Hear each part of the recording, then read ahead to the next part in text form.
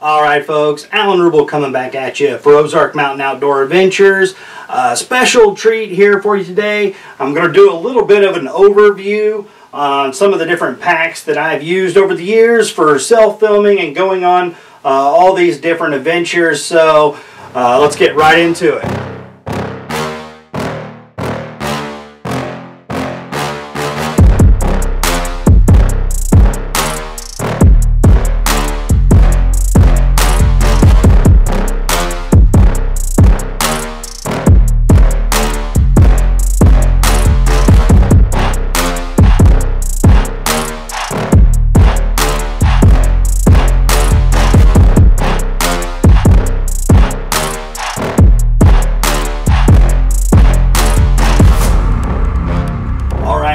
We definitely appreciate uh, all your support. We're approaching the 2,000 subscriber mark. Uh, so definitely we're thinking about doing some sort of giveaway uh, for all the appreciation to show you. Uh, so, and also, I mean, on these types of videos, we want to bring you the content that you want to see. So any bags up here or, uh, you know, any type, type of gear review you'd like to see on the channel, uh, go ahead and get down into the comments. Uh, but we definitely appreciate you tuning in. We got a whole lot of fun and in store for you. So let's go ahead and get a little bit closer into it. Again, we're just kind of going over some of the different bags I've used uh, throughout the years for different adventures. And, and I, I believe that every bag has its own place uh, and for different purposes. So kind of I'm going to go through the progression here of some different systems that I use for different uh, outdoor adventures and different types of scenarios. So uh, first off, you can see here, this is a bit of the, uh, the smallest pack uh, here. This is the Moab 10. Uh, I, I will be doing some more individual type of videos uh, on these bags and I'll also put some of the links in the description uh, as well. And, and, and some of these I have looked at, but need to do another uh, uh, update review on. So uh, this is the Moab 10. It's a really nice sling pack. It's heavy duty uh, from uh, 511. I basically purchased this for my scouting backpack. I also do some small game hunting with it. But it's a really nice quality sling pack. It is also equipped for uh, conceal and carry. Uh, I don't currently have a firearm in there at this time, but uh, I really like this pack. It's still uh, pretty new. I do have some complaints with the uh, um, the layout as far as the sling pack is concerned. Uh, this front admin pouch basically is set up vertically. I would have liked to have seen that set up horizontally for you know, uh, laying across your chest. But I really like the organization you find here in this admin pouch. Uh, again, you know, it, uh, it will hold a lot of gear. It, it will get heavy on you real quick uh, as far as only having a single strap versus some of the other, other packs that we'll be going over here. So, uh, but this is the smallest one. I like this uh, main compartment because these zippers go all the way down the side and basically clamshells open all the way.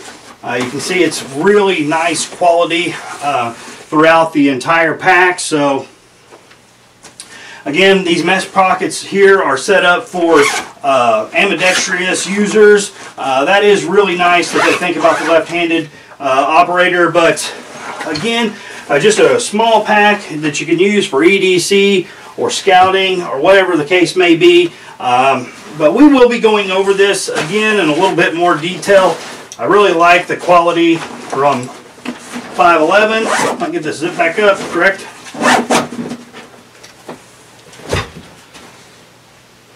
So that right there is, is probably the smallest pack uh, that I feel comfortable with. I, am a gear guy. Uh, I carry a lot of uh, uh, camera gear and hunting gear, so it does take up a lot of space. Again, this is the Moab 10 and is really set up uh, for myself for scouting. Uh, the next in line is a is a nice day pack. It's the Assault, uh, the ILBE Assault pack.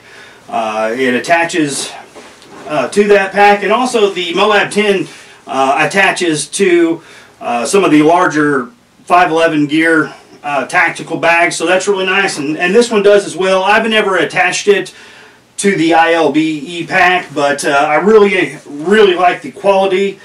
It was a little bit expensive compared to the used uh, ILBE Pack that I purchased. I bought, I bought this one new, uh, but uh, I've taken it on a lot of adventures. Um, it is pretty comfortable considering it doesn't have very much padding uh, on your back. It can make it pretty sweaty, but the uh, the straps are very nice and very comfortable. Uh, so that does uh, make up for the lack of padding here. Uh, super nice zippers, nice uh, grab handles. Um, no question about the quality of this. it is a little bit lacking as far as organization is concerned, but uh, basically, you can put uh, other systems within this system uh, as you go along. So, again, I would like to uh, go in a little bit more in depth on some of these different packs, but uh, just kind of giving you a little bit of an overview of some of the packs that I've used. this is the LA Police Gear operator bag. And it is probably uh, one of my favorite packs uh, that I've used over the years. And, and this really is probably the one I've been using more common uh, here lately. I really like the setup. It was uh, it was only 56 bucks from LA Police Gear. LA Police Gear comes with a high quality. I believe that is 900 uh, denier polyester. Uh, so it doesn't have uh, the, the, the 1050 that you find on the L, or the um, 511 tactical gear, but I really uh, enjoy this pack. I use it primarily for bow hunting in my large fishing pack. Um, just for the size of it, it's really nice. Check it out.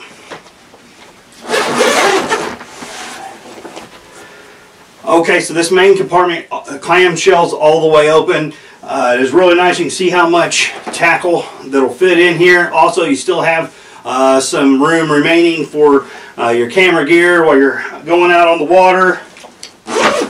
So that is the main compartment. Uh, it is hydration compatible uh, on both sides. That is a very nice feature. And the admin pouch here has a ton of storage and a deep uh, recessed pocket down here so you can put stuff in and it won't won't fall out.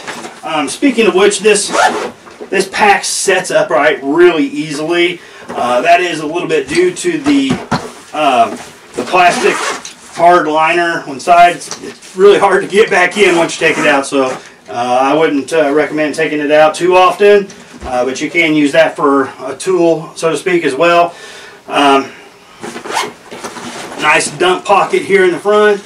Uh, just kind of put your real quick catch-all items. Uh, this is a really cool tool pouch here. I don't really have a much in it. I just pulled out some of my uh, bow hunting uh, safety harness usually where that goes. But uh, anyway, that is the LA Police Gear operator bag.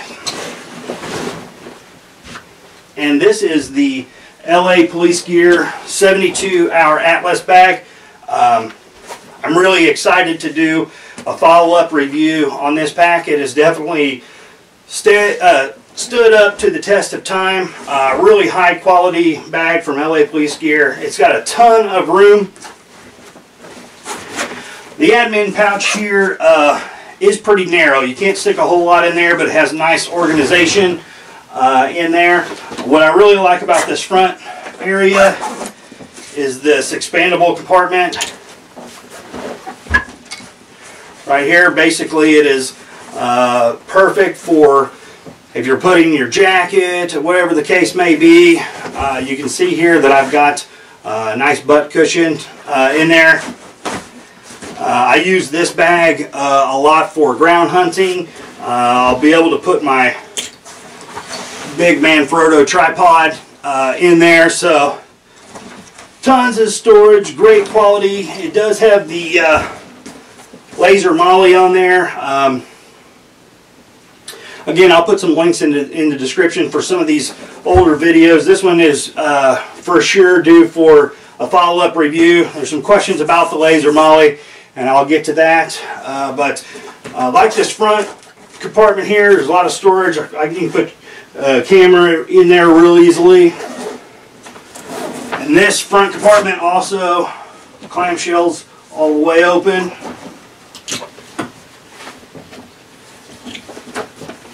Great zippers. You see how much room you have there. Uh, plenty of room for uh, turkey decoys. This this is my largest uh, uh, muddy camera arm. Plenty of room still though. Nice dividers, mesh pockets here in the main compartment. Also hydration compatible on both sides. Um, but yeah, that's kind of uh, my large my large uh, backpack. I use that for coyote hunting, for uh, bow hunting, you know, anytime I'm from the ground.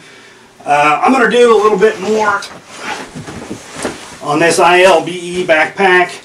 I might do a modification video. Uh, it's pretty heavy backpack, so be able to, to shed some of this extra weight with some straps that's uh, not being used. And again, you, you know, um, can attach that to Salt Pack uh, on here. Uh, so I'll probably keep those uh, buckles that may help that attach. But anyway, look for some of these additional videos. Probably do another series. I haven't done um, a backpack review series in a while. So anyway, I just wanted to come at you real quick with an overview of some of the different packs I've used. Uh, I really, again, think that every job has a specific pack that uh, that you can use. I do have some more, but these are uh, my favorites. And uh, again, we'll get, get, get into these more individually, uh, and also we'll uh, share some of the reviews I've done on these and do some updates, like on the uh, the 72-hour pack here. It's my, like I said, one of my favorite ones, and